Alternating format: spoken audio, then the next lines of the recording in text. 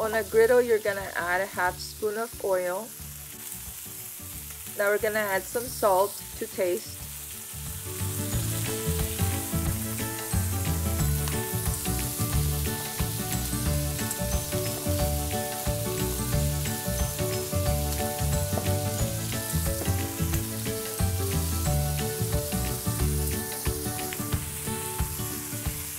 Next, I'm adding some oregano to taste. And some black pepper.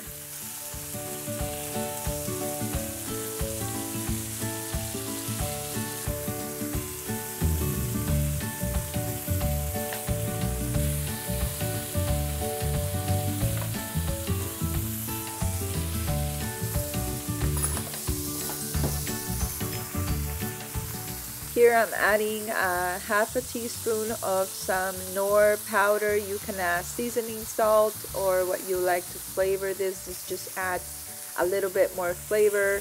And then we're gonna let them grill and flip them when we think that they're ready. And then just keep doing that until they're ready to either use the blender or use what I'm uh, using here, which it's called a molcajete you can find these at Walmart or you could just use a regular bowl uh, and just a masher to mash these tomatoes.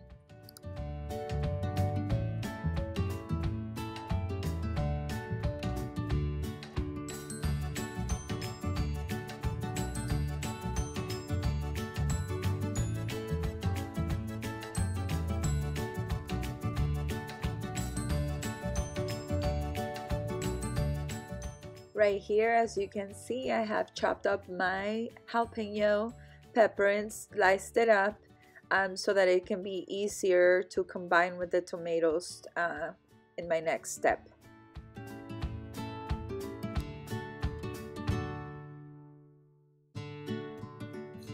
Now we're gonna start mashing the tomatoes and the jalapeno and the garlic all together until we have uh, the desired salsa consistency.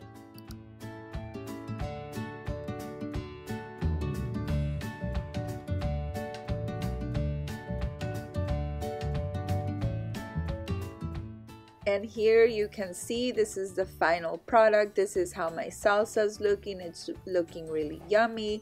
I like the salsa chunky. If you guys don't like it as chunky you can use the blender. I hope you enjoyed this video.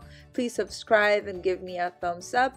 If you make this salsa please leave me a comment down below and let me know how it turned out and what you liked about it. I would like to know. Thanks for watching